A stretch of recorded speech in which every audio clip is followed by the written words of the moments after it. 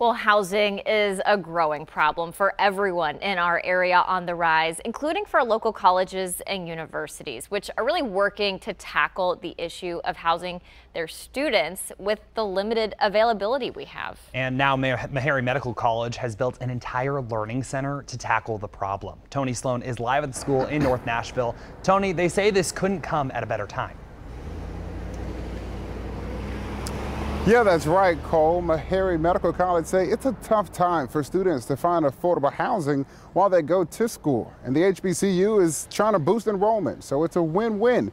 Just take a look at this center right here behind me. They recently had a ribbon cutting ceremony to welcome students to this brand new building.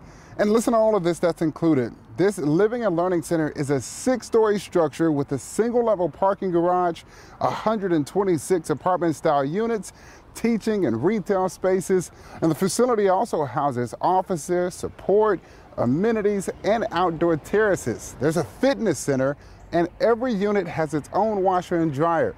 The school made the announcement yesterday that students have already started settling into their home away from home and representatives with the college say it's all for fostering growth in the community and giving students as many resources as possible during this tough time. But yes, this center is open. Students are inside, and they say it's just a great addition with the simple fact that a lot of schools are having a hard time getting students into some of their living facilities due to the limited availability.